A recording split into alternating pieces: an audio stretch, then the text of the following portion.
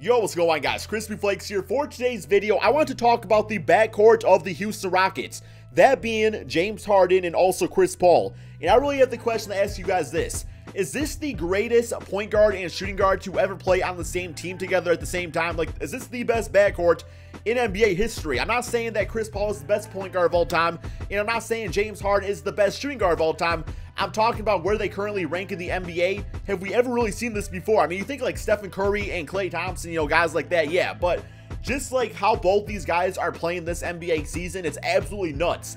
Um, first and foremost, I do want to talk about the stat that I saw on here that I thought was absolutely insane, and that is that when Chris Paul and James Harden play at the same time, the, this, the Houston Rockets have only lost like three games on the entire NBA season. So, yes, that is very impressive because who knows what they could have done if they were both healthy. Uh, Chris Paul's, you know, only played 40 games this NBA season as he did suffer some injuries early on. I think he was out for like the first six weeks or something like that.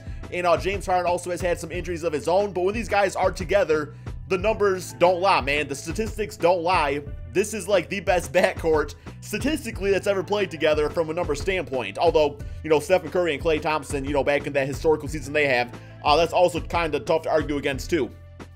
But the thing that has impressed me most, I'm going to talk about Chris Paul first, as this, of course, is his first season with the Houston Rockets, is that although he is no longer the main ball handler all the time, the numbers he's still putting up is like he's still averaging 19 points per game, which his career average or his career average is 18.7. So the fact that he's 32 and still averaging about 19, 20 points out there uh, shows just how valuable a player that he is. Because I do remember once upon a time, um, it was like the early days of his of the Clippers when he was like 26 back in like the 2011 season. Uh, Chauncey Billups, I believe, was also on that team, and it was the same situation where it's like, yeah, there's two point guards, but they were able to operate in the backcourt together. So the fact that we are seeing that with Chris Paul, I really, I really think that being able to be, uh, you know, diversible like that is something that just is so underrated in the NBA because that's so important that you can play outside of your position at times and still be like a scorer out there or a playmaker or really just ask what coach needs you to do because James Harden, let's be honest, he's the guy that needs the basketball in his hand a lot of times to do some things out there. But uh, you, you also look at Chris Paul's stats, although he's not like always the most or he's not always the ball dominant guy anymore like he used to be, he is still putting up 8 assists per game. Now his uh, career average is, is, about 10, so that's only dropped two. I still think that's impressive because imagine if James Harden was not on this team. The way he's playing this season, Chris Paul be averaging about 14 assists out there, right? And then uh, you look at his total rebounds, he's actually averaging a career high in rebounding at 5.8 rebounds per game at the age of 32. Like, early on in his NBA career, you would have thought, well, I don't know, man. He's always played some great centers, though, when it comes to rebounding. I mean, he's played with uh, Tyson Chandler back when he was on the Hornets. Um, he played, you know, with DeAndre Jordan for many years, and now he's playing with Clint Capela, which is pretty much just DeAndre Jordan. So he's always played with great rebounding centers, but he's still managing to get six a game out there. Uh, his, you know, his free throw percent, that's, that's actually, at, at like, yeah, that's at a career high of 91%. Uh, he's shooting 56% field goals down the season, 54% from twos. Uh, he's shooting 39% from threes. So his three ball his career average from that is like 37%. So uh, he's really learned how to play off ball that too. But still, you know, uh, have those pull ups when needed. Still things like that. Now I also want to talk about James Harden because James Harden is having an MVP, MVP caliber season. If this man don't get MVP, I would be so pissed because there's been like two or three seasons now where it's like, yes, he could have had the MVP award. Um, it's just like there was somebody else that was also playing fantastic, and for that reason, he didn't get it.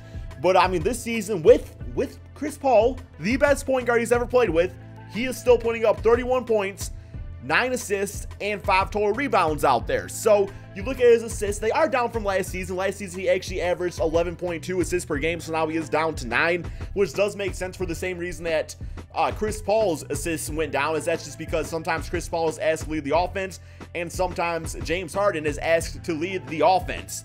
So, I don't know. All I do know is that when this when these guys were put on the same team together, when they when Chris Paul decided to uh, sign with the Houston Rockets, I had my doubts because I was like, there is no way that this is going to work. There's no way that there is these two ball dominant guards and they are going to be able to mesh well together. So I think it says a lot about Mike D'Antoni's offensive system because Mike D'Antoni, when it comes to his offensive sets and everything, uh, they are obviously focused on offense and stuff like that, right? Is that, did I say that right? Yeah, it's offensive. Yeah, of course they're based on offense, but I mean like high power offense. Just like we are going to shut you down with our offense, man. Like the best defense is a better offense. We going back to Iron Man 1 right here. That was a quote that Tony Stark said in that movie. So I guess that is really the only thing I gotta talk about when it comes to that. I mean, you look at some of the other shooting guards that these guys have both played with.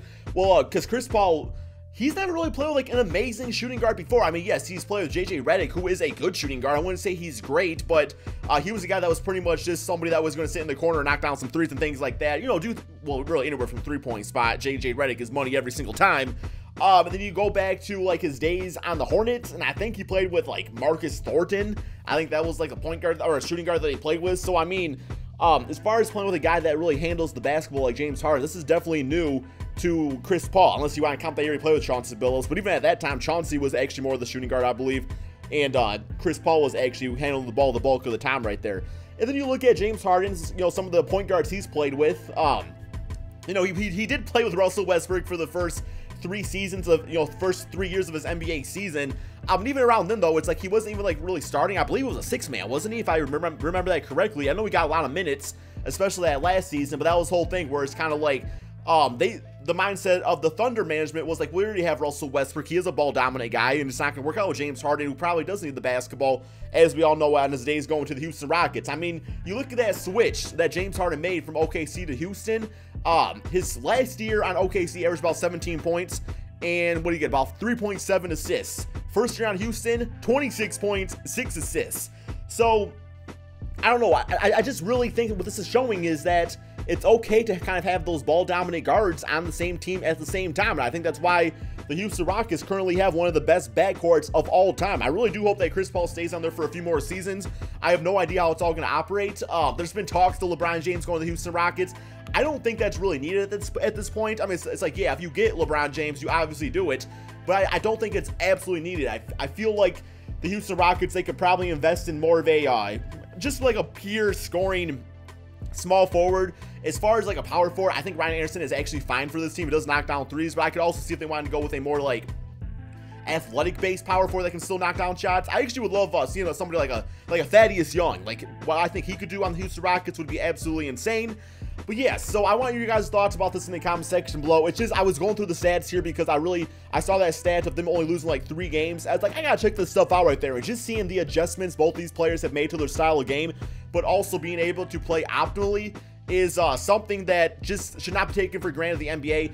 And I, I really feel like when it comes to like the MVP award, it's like, yes, James Harden is scoring is up by two points this season. His assists are down, his rebounds are down, but I think you have to put into perspective just how he's adjusted his game for the success of this NBA team and playing alongside Chris Paul. By the way, Chris Paul should have made the All-Star team. I know he only played 40 games, but um, Chris Paul's still playing like he's having one of his best seasons ever for one of the best point guards of all time.